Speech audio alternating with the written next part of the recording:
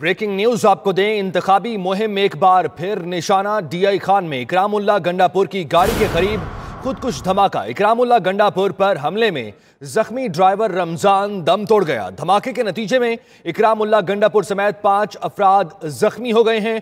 حملہ تحصیل کلاچی میں ہوا۔ اکرام اللہ گنڈا پور کے سر پر زخم آئے ہیں۔ اکرام اللہ گنڈا پور پی کے ننانوے سے پی ٹی آئی کے امیدوار ہیں۔ انتخابی مہم کو ایک مرتبہ پھر سے نشانہ بنایا گیا ہے اور خود کش حملہ کیا گیا ہے۔ ڈی آئی خان میں اکرام اللہ گنڈا پور کی گاڑی کے قریب خود کش دھماکہ ہوا ہے اور آپ کو یہ بتاتے چلیں کہ اکرام اللہ گنڈا پور پر حملے میں زخمی ڈرائیور رمضان دم توڑ گیا ہے۔ آپ کو یہ بتا رہے ہیں کہ دھماکے کے نتیجے میں اکرام اللہ گنڈا پور سمیت پانچ افراد زخمی ہو گئے ہیں۔ حملہ تحصیل کلاچی میں ہوا۔ اکرام اللہ گنڈا پور کے سر پر زخم آئے ہیں اور اکرام اللہ گنڈا پور پی کے ننانوے سے پی ٹی آئی کے امیدوار بھی ہیں۔ آپ کو انتخابات دو ہزار اٹھارہ کے حوالے سے بتایا جائے تو ایک خود کش دھماکہ مستونگ میں بھی ہوا اور یہ دہشت گرد کارروائیوں کا سلسلہ جیسے ہی انتخابی مہمات کا آغاز ہوا شروع ہو چکا ہے اور ایک مرتبہ پھر سے ایسی ہی صورتحال آج پیش آئی ڈیرہ اسماعیل خان میں، جہاں پر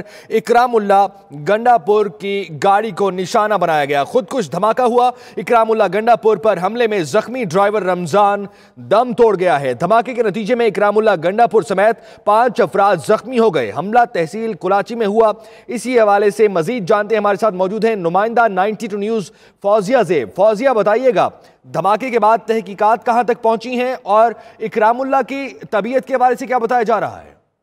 جی بالکل، پولیس کے مطابق دھماکے میں چار افراد زخمی ہوئے ہیں، جبکہ اکرام اللہ خان کے جو ڈرائیور ہیں، رمضان زخموں کتاب نہ لاتے ہوئے جام بحق ہو گئے ہیں، جبکہ ان کے گارڈ سمیت صوبائی وزیر خوراک صوبائی وزیر زراعت اکرام اللہ گنڈپور کی حالت جو ہے وہ تاحال تشویشناک بتائی جا رہی ہے، جنہیں پہلے جو ہے وہ کلاچی اسپتال منتقل کیا گیا تھا، تاہم وہاں پہ سہولیات نہ ہونے کے باعث ابھی انہیں جو ہے وہ ڈسٹرکٹ ڈی آئی خان کے اسپتال منتقل کیا جا رہا ہے، جو کہ کلاچی سے تقریباً سات کلومیٹر کے فاصلے پر ہے۔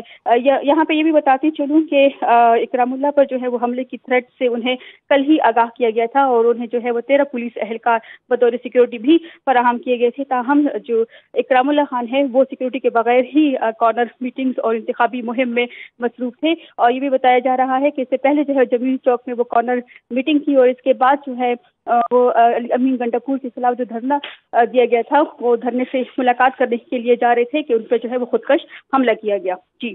اچھا فوزیہ، ہمیں یہ بتائیے گا کہ خودکش بمبار کے حوالے سے کوئی ابتدائی تحقیقات سامنے آئی کہ یہ کون تھا، کہاں سے آیا اور یہ دہشت گرد کارروائی جس وقت ہوئی ہے، وہاں پر کون کون موجود تھا؟ کیا گاڑی رواں دواں تھی؟ گاڑی رک چکی تھی ان کی؟